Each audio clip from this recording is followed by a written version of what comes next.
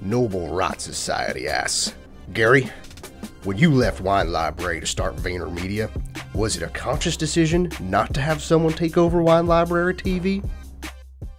Great question. People have asked me this question a lot, and I want to interject some depth, like the last couple questions, last couple episodes, with some of this kind of fun stuff and insight that I've never talked about.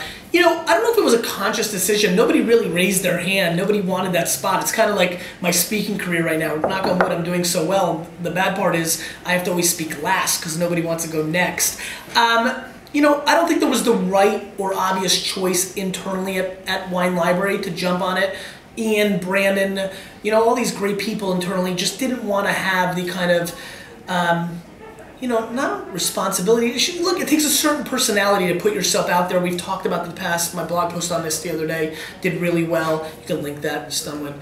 Uh, so conscious choice it was the right choice. If that person existed in the building maybe it would have continued in that manner. But i think one thing that i'm really focused on and why i took this question to interweave it to everybody else while answering it is i think you have to assess. Like you always have to assess.